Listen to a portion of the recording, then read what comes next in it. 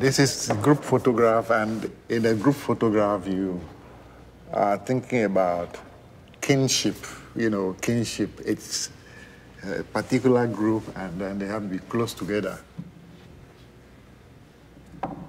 Originally, they were spread uh, wide apart, you know, so what I've tried to do is to bring them together so that they are a group. I come from a family of very many people, about 32 siblings, and, and uh, probably this is a reflection of that.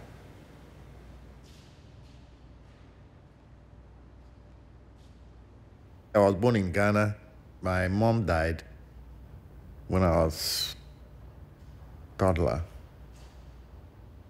pretty young, about two or three. And uh, so I had to live with my uh, maternal uncle, you know, a reverend, and we lived in the mission house of uh, the Presbyterian school. My life revolved only around the mission house and the church, school, church, you know.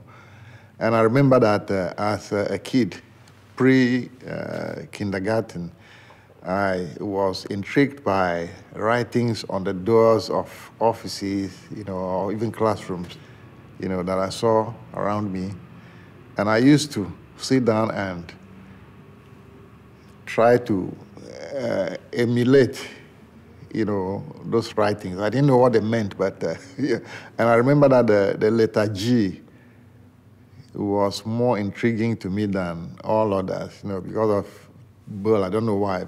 Maybe because it has uh, so many uh, appendages, or it's not like C or or the others. it's a C with something else added. You know, it was intriguing to me.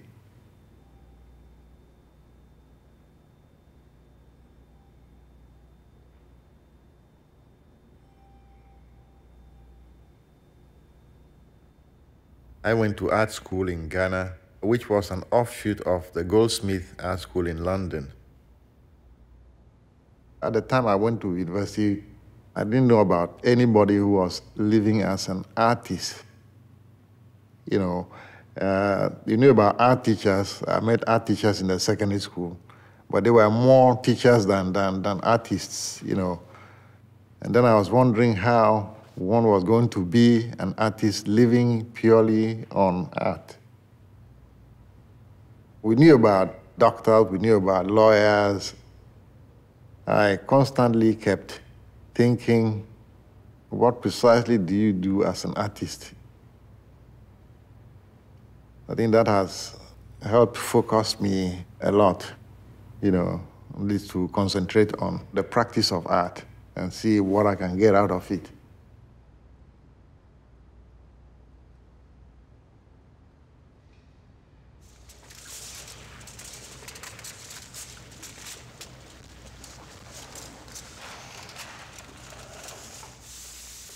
As a matter of principle, I do not provide installation instructions for my works. There's no one particular way that these are supposed to be installed. So to the left, a little bit. Right there. All right, screw away. Mm-hmm since they are so free and so loose and so flexible, it will be difficult to have a specific format for any one of them at any time.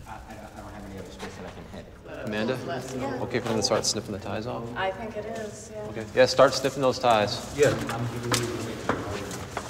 When they lift that bar out, you're going to need to lift up the yeah. work, yeah. Good.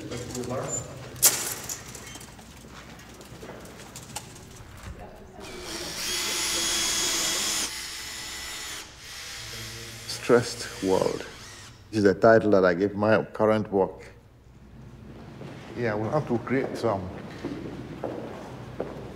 some crazes here. Yeah, yeah, okay, okay, okay, okay. There are so many conflicts going on in the world right now. Man-made conflicts, natural conflicts, earthquakes, tsunamis, wars, not sure about all this leave you in a state of kind of siege. Yeah, your mind is uh, in a state of siege.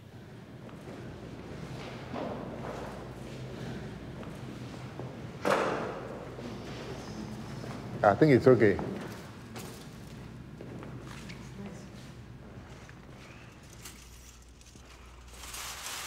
Careful your wrist, man.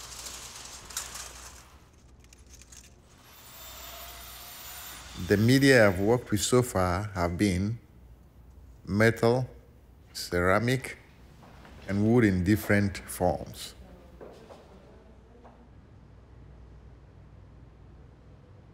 Working with strips of wood, I changed uh, my approach a little bit. You know, by working not with strips of wood as processed wood, but then wood which has been used by humans. And then transform it into something that you contemplate, now, not something you use.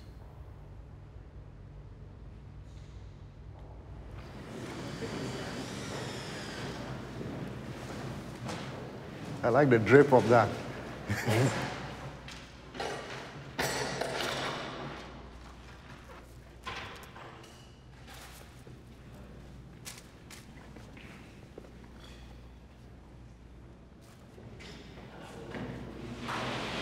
Personally, I want some relaxation in some places and yeah. It's different every time. Yeah, every time it's different. That's the whole idea. supposed to change with every venue and, and every space.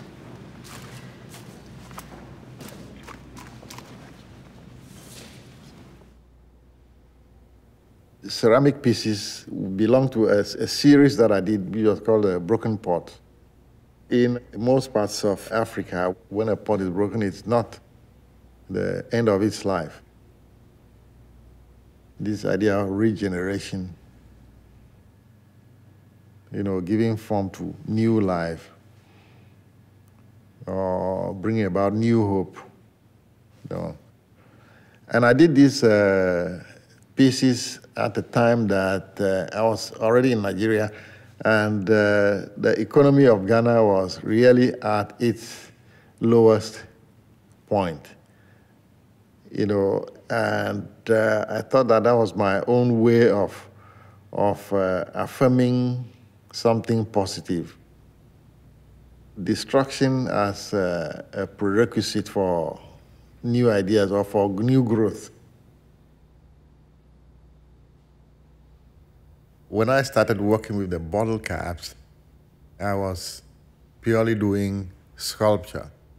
And uh, somehow, inadvertently, the color scheme of the bottle caps happened to replicate that of the very popular fabric in Ghana, the kente cloth. Colors of kente cloth are traditionally the reds, the blacks, the yellows, that created problems because when people start looking at it as textiles, the tendency is for them to stop looking for any meaning beyond that.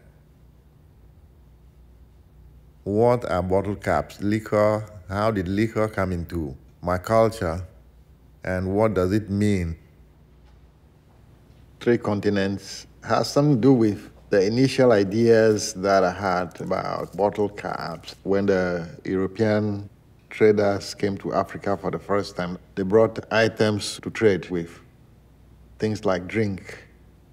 Because eventually, drinks were exchanged for slaves, were brought to America to grow more cotton and sugar cane to make more drink, and then shipped to Europe. So the idea of three continents, you know, and how drink was a, a, a link factor between the, the three.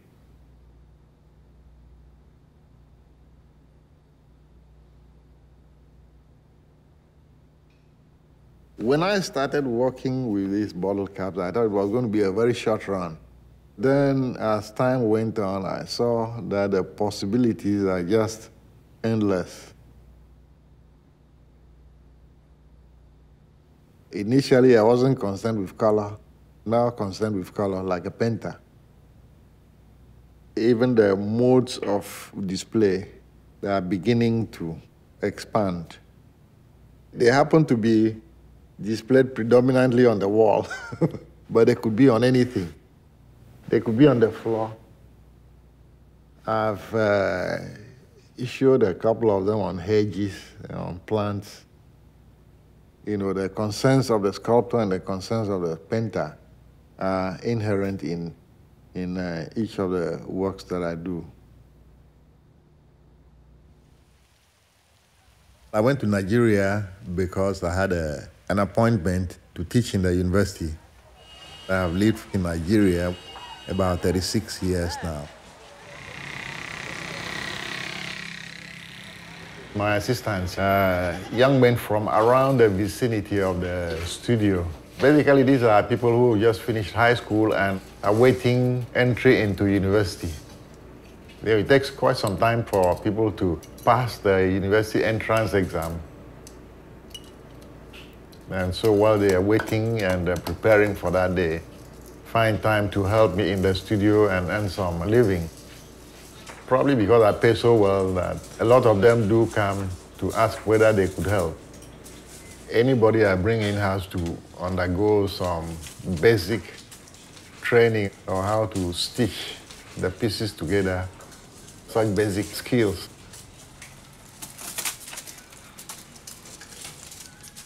The whole process and end product all have to do with freedom, flexibility, you know. So right from the instruction stage, you know, you leave a lot of room for people to play around. So the resulting work tends to have that flexibility in it. Basically, I've worked in this way that I pick a medium or a process and I work with it for a long period, years. And uh, it has to take something more powerful or more demanding to really take me away from it. At the back of my mind, I'm seriously looking out for anything that can come and displace this.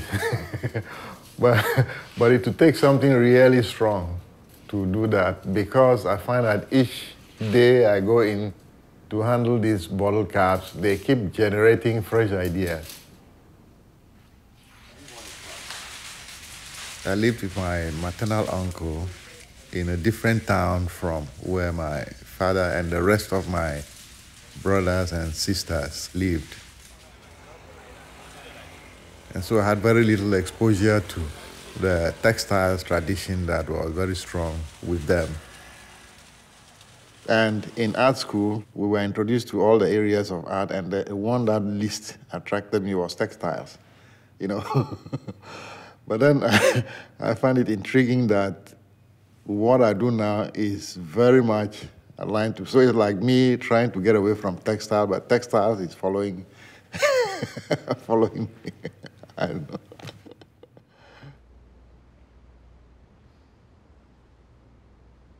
I think the idea of recycle, you know, I've, I've always kicked against it. Recycling has to do with the industrial process, and that's not what I do. I don't, for instance, return the bottle caps back as bottle caps. Yeah, give them a new life and make them not objects that do something utilitarian, but objects of contemplation.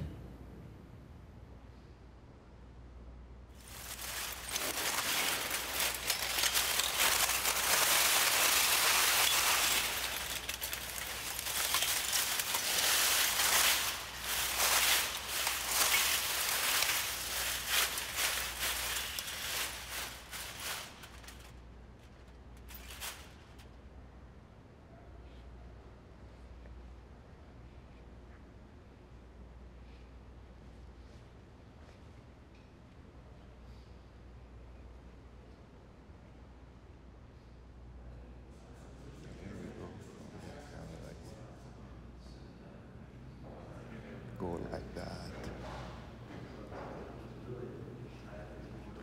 Okay, it's a very long.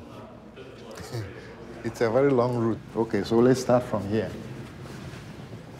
Actually, the river should be emptying out, and then the source should be in the middle of, yeah.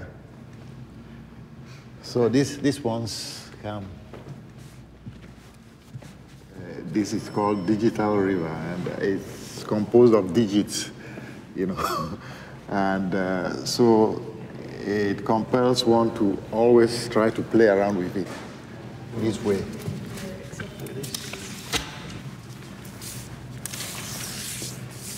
It begin to swing back. Yeah. So that it will end maybe somewhere here.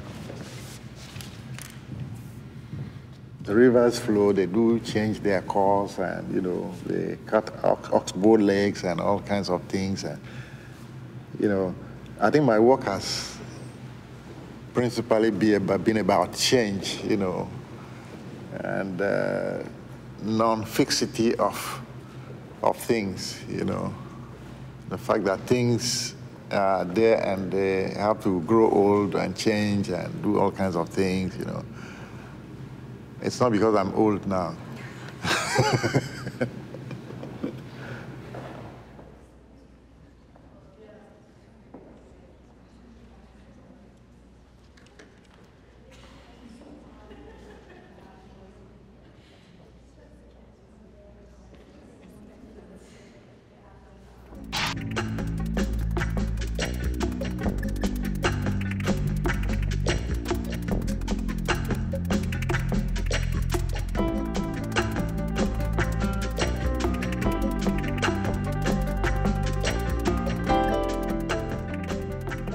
learn more about art in the 21st century and its educational resources, please visit us online at pbs.org/art21. Art in the 21st Century is available on DVD. The companion book is also available. To order, visit us online at shoppbs.org or call PBS Home Video at 1 800 PLAY PBS.